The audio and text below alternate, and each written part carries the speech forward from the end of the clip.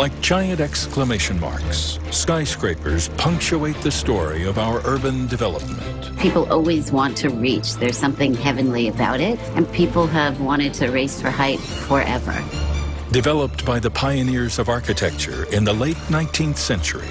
They were, at the time, the equivalent of our going to the moon. These magnificently designed tower giants urbanized some of the greatest cities in the world. It's about defying gravity and leaving a sign of humanity. From Chicago to London, from Tokyo to Dubai, skyscrapers have and continue to define our contemporary way of life.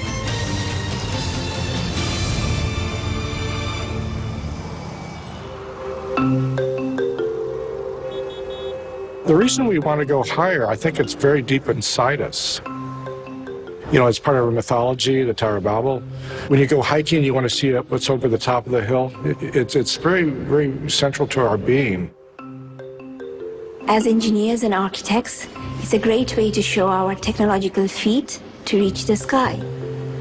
And it's also a tale of constant evolution, constant improvement, and progress, honestly.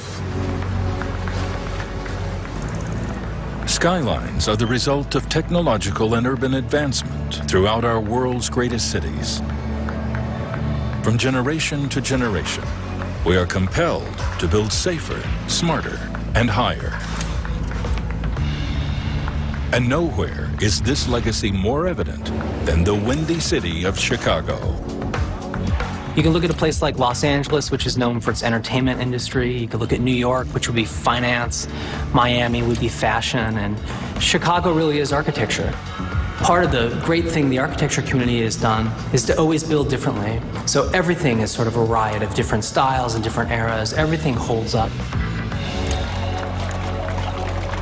In the mid 19th century, Chicago grew exponentially as people migrated to the Midwest seeking new opportunities.